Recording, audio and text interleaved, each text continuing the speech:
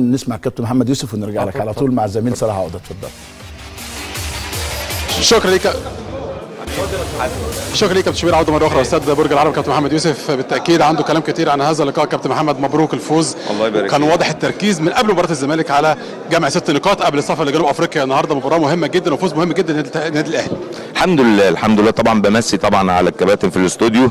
دي أول حاجة. تاني حاجة إحنا يمكن محضرين للماتشين دول لأنه عارفين إن هم جايين ورا بعض وفي اسكندرية وده كان يمكن القرار بتاع الجهاز إن إحنا نظل في معسكر مغلق بعد مباراة الزمالك. ايا كانت نتيجة مباراة الزمالك كنا واخدين القرار من أول لأن قلنا مكسب أو لا قدر الله لو في أي خسارة أو تعادل محتاج إن أنت تعمل ريكفري كويس للعيبة محتاج إن أنت تعيش اللعيبة نفسيا في المباراة دي لأن المباراه بثلاث نقاط ومباراة الزمالك بثلاث نقاط وأنت بتلعب على دوري أنت بتلعب على لقب ما بتلعبش إن أنا أكسب زمالك أو آه، زمالك زيه زي الاتحاد كلها بثلاث نقاط.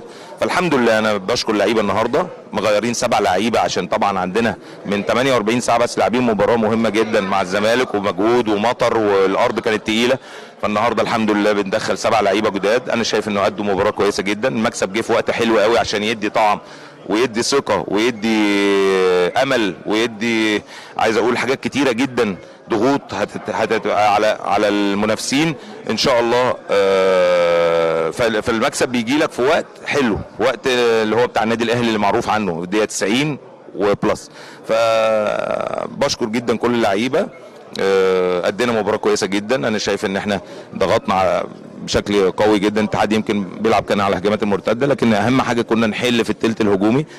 رمضان نزل طبعا عمل فرق كبير جدا صالح جمعة تغييرتين واحد عمل جون والتاني جابه والهدف الأولاني بتاع علي معلول جيرالدو عدى من جنبه وحطها له. فالحمد لله ثلاث نقاط مهمين جدا وتخلينا نمشي في ال- في المشوار بتاعنا إن شاء الله. ثلاث نقاط رامي ربيعة أحمد فتحي آه، صالح جمعة مكاسب كبيرة جدا للنادي الأهلي من هذا اللقاء طبعا طبعا الحمد لله. وياسر بيأكد وعندك آه، برضو آه، نيدفيد رجع من الإيقاف. عندك جيرالدو وحسين الشحات عملوا مباراة كويسة جدا. وعندك أزارو بذل مجهود كبير جدا. مروان حتى لما نزل بقوا اتنين بيشكلوا آه، ثنائي هجومي في ال box بتاع نادي بتاع نادي الاتحاد. فادينا مباراة كويسة جدا. ال- ال- اللي عايز أقوله كمان إن علي معلول علي معلول الراجل الوحيد يعني يمكن جه من منتخب بلده ولعب ماتشين ماتش مع سويسلاند كسبوا أربعة وماتش مع آه، الجزائر خسروا واحد الودي وجه ركب آه، مسافر طيران وجه ركب معانا سفر تاني لإسكندرية لعب ماتش الزمالك كامل. والنهارده برضه بيلعب كام؟ فانا بشكره بشكره إنه بذل مجهود كبير و... و... ومتحمل كل- بص البطولة البطولة ما بتجيش إلا بصعوبات. دايما عشان تطلع على منصة التتويج ودي حاجة عارف عارفينها النادي الأهلي ومدربين النادي الأهلي ولاعيبة النادي الأهلي. لما تطلع على منصة التتويج دي مش مش مش بسهولة. فلاعيبتنا جاهزة ولاعيبتنا عارفة ده كويس وإحنا بنوصله لهم ده بشكل قوي جدا. النادي الأهلي دايما لما بيفوز بالبطولات بيفوز بيها بصعوبة. عشان كده دايما هو صاحب المنصات التتويج زي ما بنقول. مباراة مهمة جدا في أفريقيا والسفر بكرة إن شاء الله على باتن طياره خاصة لجنوب أفريقيا. شايف المباراة إزاي واستعدادكم ليها إيه؟ مباراة طبعا صعبة. إحنا هنقفل خلاص على طول دلوقتي. طيارتنا بكرة إن شاء الله هنتجه لجنوب أفريقيا.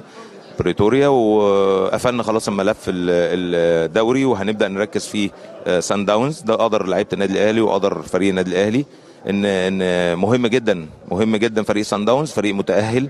دور الثمانيه فرق قوية فرق تحترم فرق جنوب أفريقيا. من الفرق الكويسة جدا جدا جدا. بتلعب جيم مفتوح على طول بيلعبوا آه، بشكل فيه يعني في عايز أقول سرعات كبيرة جدا. بيلعبوا رتم سريع عندهم ملاعب كويسة وبالتالي ما عندهمش حاجة يتحفظوا يعني ما عندهمش ملعب مثلا عشان يحصل تحفظ أو يدافعوا أو حاجة. أنا شايف إن فريق في الصن داونز مهم جدا ندرسه بشكل قوي جدا. النهارده ريحنا مجموعة واللعيبة كمان اللي لعبت هتعمل recovery بكرة بشكل كويس جدا عشان نجهز ليوم السبت إن شاء الله. وبكرر تاني وبقول إن إحنا مباراة دور الثمانيه سواء سان داونز الذهاب يوم السبت أو العودة بعدها بأسبوع مباراتين مهمين جدا إن شاء الله. مجموعهم نتأهل آه، ل- لدور ال- اللي قبل النهائي إن شاء الله. وبالتالي عايز اكد بشكل كبير.